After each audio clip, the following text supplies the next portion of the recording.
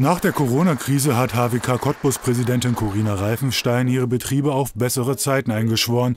Danach sah es zunächst auch aus, doch dann überfiel Russland die Ukraine und die nächsten Probleme taten sich auf. Die waren natürlich auch Thema bei der gestrigen Vollversammlung der Handwerkskammer Cottbus. Treffpunkt war diesmal der Lehrbauhof in Großräschen.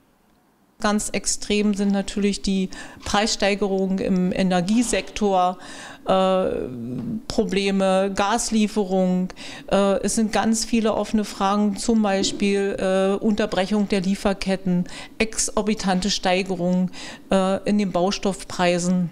Und das sind so viele offene Fragen, das ist im Moment fast so wie in eine Glaskugel schauen. Corinna Reifensteins erste Aufgabe ist, Optimismus zu verbreiten. Gleichzeitig nimmt sie aber auch die Politik in die Pflicht. In Form des Lausitz-Beauftragten Dr. Klaus Freitag war ein passender Ansprechpartner gestern als Gastredner vor Ort. Er vertrat den eigentlich eingeladenen Dietmar Beutke. 10 Milliarden Euro fließen für den Strukturwandel nach Südbrandenburg. Freitag schlägt sich dabei auf die Seite des Handwerks. Steigende Preise und Lieferengpässe belasten auch ihn. Die Preisleitpause haben wir auf der Agenda. Wir diskutieren natürlich auch. Ich sage jetzt mal so, das geht mich ja auch selber an. Was sind denn meine 10 Milliarden noch wert nach dem 24. Februar? Was kann ich denn da noch mitmachen? Wie muss ich denn da Obacht geben, wie ich die Projekte steuere? Das Gleiche gilt ja für Sie. Da hört der Nachholbedarf aber nicht auf. Auch beim Thema Entbürokratisierung steht Deutschland auf der Stelle.